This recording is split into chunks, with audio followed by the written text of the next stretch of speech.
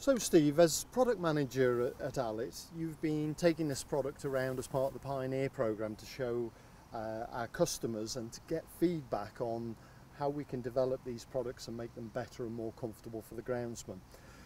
Looking at the handlebar side, which is where the engineers seem to have spent a lot of their time in controlling this, can you just talk us through how the handlebars are working and why it's better for the groundsman than it's ever been before?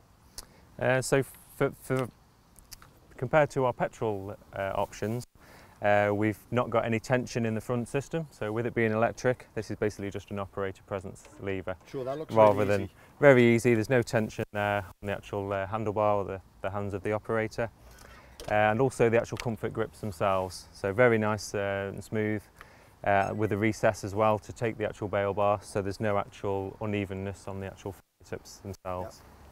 Great. And I know as I'm getting older, my grip's getting a, a bit weaker. And I know on the old system where you're pulling uh, be- belt tensioners, That's right. uh, yeah. that now with this literally just fingertip, It's literally just it's operating a off. switch. It's tucked in nicely to the handlebars, so I haven't got a really big handful Mhm. here of bail bars. So I, I can see why the, the customers are loving that. Um, talk to me about that that thing that, that we've got a patent, uh, or at least applying for a patent on and hoping to get this half speed button. half and why speed that's button. important as well for the control of the machine. So basically, you can have both hands on the the operator, which is on the both hands on the handlebar themselves. Yes. So very important when you are making manoeuvres and turns. So with it being a 160 kilos as well, the wide handlebars, obviously there's a lot of weight there to try and manoeuvre and turn, but Yep. with the handlebars, the size of those, it makes it very easy and balanced uh, for the machine. So you haven't got to slow the machine down using the, the variable speed there.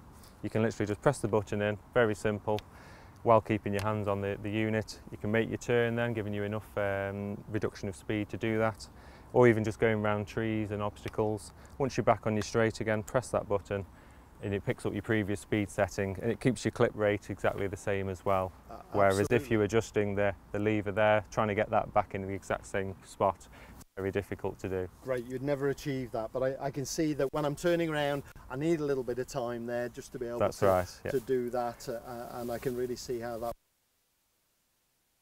Well done. Increases the productivity as well. Obviously, it's just very simple um, action, just pressing that button in rather than trying to slow down, making manoeuvre and then Sure, you picking set that the speed machine up for again. mowing speed for maximum productivity That's and right. the best clip rate, but I still I can still just slow down for the turnaround at the end, yep. so that would really help as well. Talk to me about the speed controls on the cylinders.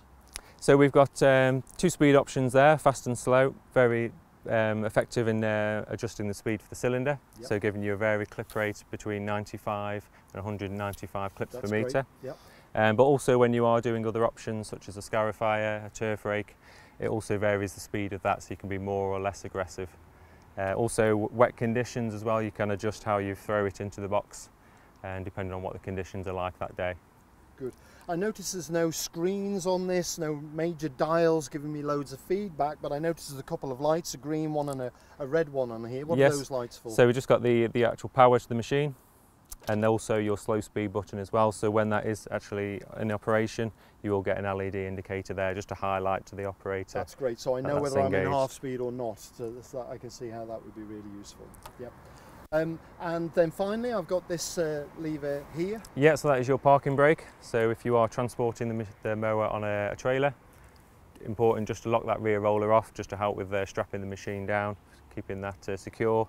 And also if you are parking it on a, a slope as well, if you've got any slopes on the ground, it's ideal just to apply that before leaving the machi- machine on its own. Great. I'm really loving this lightweight, although it's such a such a, a sturdy machine and really right, lays down yeah. great stripes. Knows a function of the weight.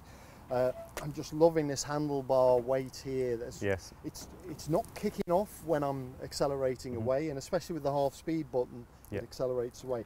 But I can see why, when I've spoken to a couple of customers that have used this, that they are talking about the comfort of this, and I, I Mm-hmm. Yeah, guess it's that's important. partly not to do, uh, partly about the noise not being there like you'd normally expect, but also just these handlebars are really, really hitting the mark. So very minimum really- vibration as well, just giving you yeah, that extra sure, and of course we, we're all very aware of that in in the industry, aren't we? And and, and the, the ill effects of using machines with vibration for long periods. So I can see why that's a really big advance too.